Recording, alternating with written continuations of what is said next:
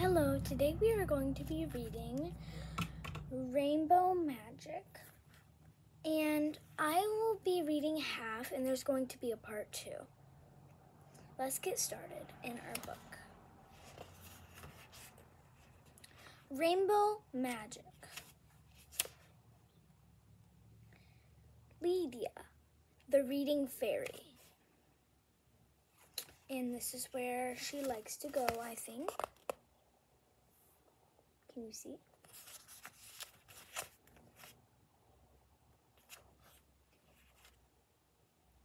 It's time that pesky Lydia sees how wonderful a school can be. A place where goblins are always bossed and learn lots about the Great Jack Frost.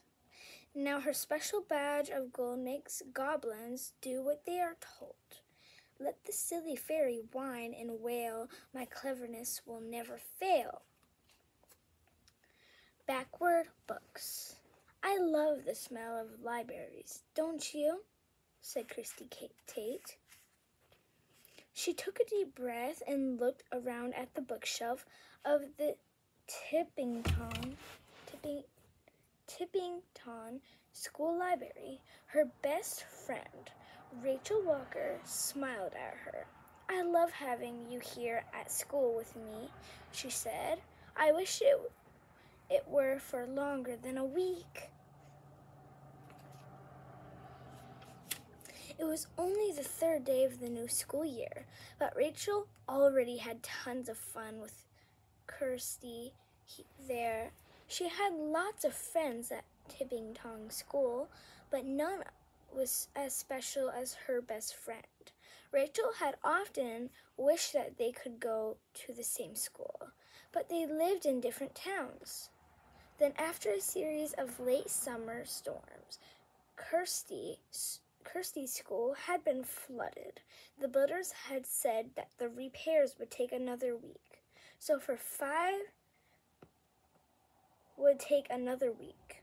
So, for five happy days, the best friend were able to go to school together at last. In some ways, it felt like a wish come true. The truth was, Rachel and Kirsty had shared many special times. The two friends had an extraordinary secret from the time when they first met on the Rain Spell Island. They had been friends of fairyland. They had shared many magical adventures and met a lot of different fairies. Each one had a special magic talent. Kirsty and Rachel had even visited fairyland as the special guests of Queen T- Titania and Queen King Oberon.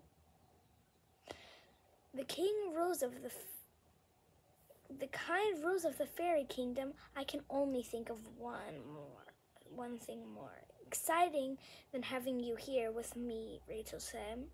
Kirsty responds, responded with a big smile.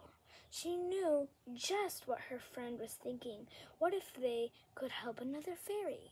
And that will be the end of today. We will only be reading two pages a day. And if you want to keep reading, Please like and subscribe for more. Bye. See you next time.